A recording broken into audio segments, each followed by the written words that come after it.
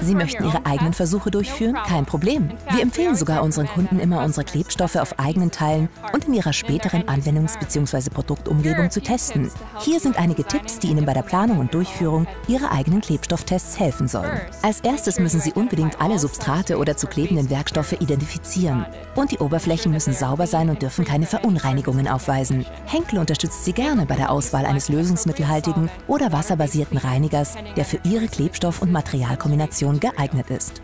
Als nächstes müssen Sie sich mit dem Thema Klebegeometrie, Klebefläche und Klebespalt befassen, um festzulegen, wo und wie viel Klebstoff aufgetragen werden soll. Weitere Überlegungen betreffen die verfügbare Zeit für die Klebstoffauftragung und für die Erreichung der Handfestigkeit. Vor Prüfung der Funktionseigenschaften sollten Sie dem Klebstoff unbedingt genügend Zeit zur Erreichung der Endfestigkeit lassen.